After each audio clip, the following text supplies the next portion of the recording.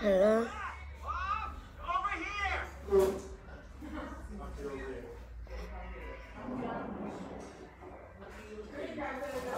Uh, um, songs about collisions. Um, this is a great book that me and my friends made up at school. Um, these are all the people in there. Alan, Sam, whatever, Chris, and Ludovic, and Andrew Fasagianis. Don't even make fun of me. And Tate. um, songs about collisions. Alright, let's get into it.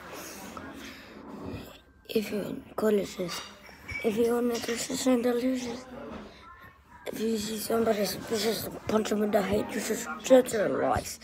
What's up? We're for police. We're gonna do it.